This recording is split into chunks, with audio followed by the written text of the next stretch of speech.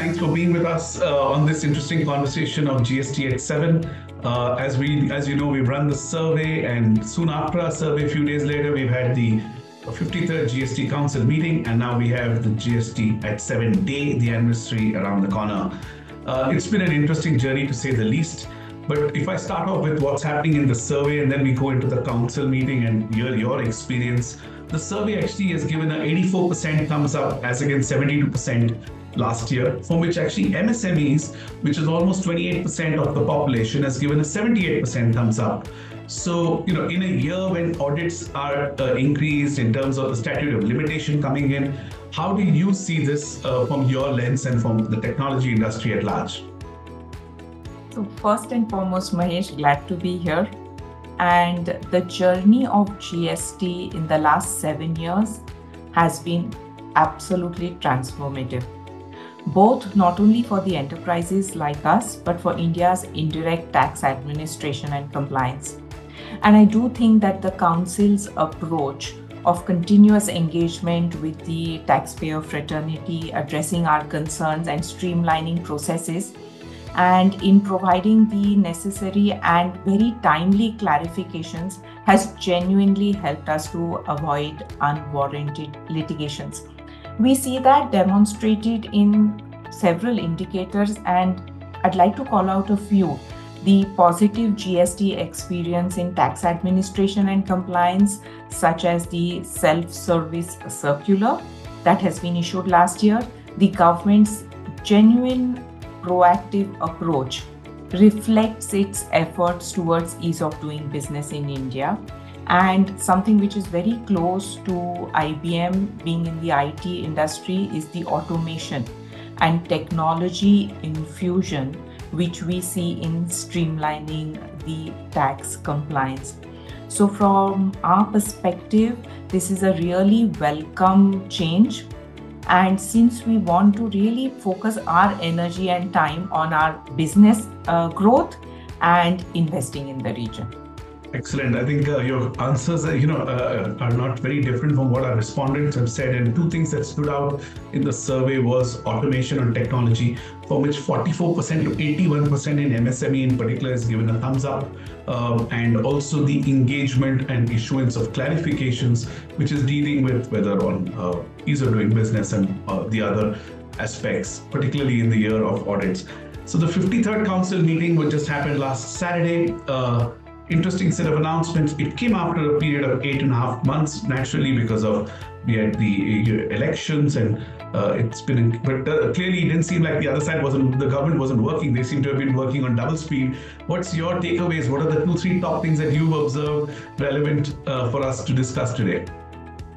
I think the GST Council has addressed multiple issues which the industry is facing, and we are very grateful and pleased that it also gave its approval to a large number of dispute resolutions as well as procedural and compliance issues.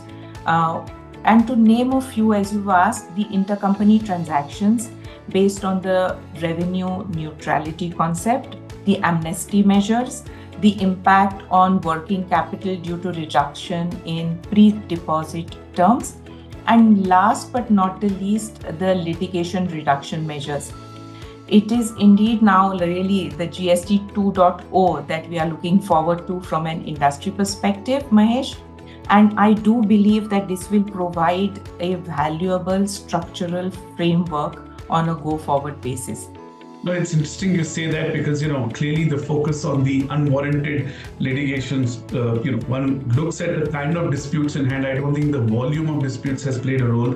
I think the decision has been if there is something that can be clarified to avoid the litigation, let's get it done with. The point that you called out of amnesty and pre-deposit, which are uh, critical in the first few years of GST as well as on dispute resolution, does indeed stand out. Uh, having said that, Tej, from your perspective, which are the areas you think the government can continue to do more uh, or could should consider certain nuances? Are there some two, three points that you want to share with us? Let me start with again a positive that the recent instruction issued to address the challenges faced by taxpayers like us having a pan India operation is really a welcome relief. But you can always do better, and we do look forward to uh, incremental changes. And what I think the council can really focus on going forward is to avoid multiplicity, duplicity in audit and investigations. It doesn't help from a time, uh, money, in any perspective. I don't think it has any positive impact. And the measures to unblock working capital due to accumulated ITC uh, and removal and reduction of ITC restrictions and clarifications on various export of services would really be helpful, I think, Mahesh. I think that's very well articulated. So your your your in a way takeaway or recommendations are in two buckets. One saying there's a start on these investigation circulars and will help at least as things move forward. But on dual investigations, particularly where you could be registered with a state or center, if there is a little more process or standard operating procedure that will help. Uh, I think the point on working capital actually saw the ITC restriction stood out as 87% of our participants oh. said ITC restriction should go away. Uh, and maybe that's probably with, with the record collections and the stable collections, more importantly. Uh, hopefully, time is right for the 2.0 technical or tax reforms to come in on that front. You did say working capital as well as export liberalization. Uh, excellent, Tej. Couldn't have had any more crisp and sharp comments from you as always. Uh, thank you for your time, and you know, uh, I'm sure these insights are always useful for not only me but for the rest of us at Deloitte and, and all of us to be seen. Thank you very much.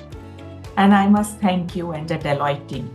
Uh, how much we count on your partnership uh, I cannot put in words. So thank you, thank you really for Very kind of you to say. Us. Thank you, Tej. Appreciate it. Thank you.